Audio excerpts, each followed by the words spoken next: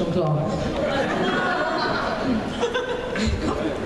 Nicht mit dir und nicht ohne dich, denn du bist mein zweites Ich. Frag nicht warum, doch bist du nicht da, dann ist nichts mehr wie es war.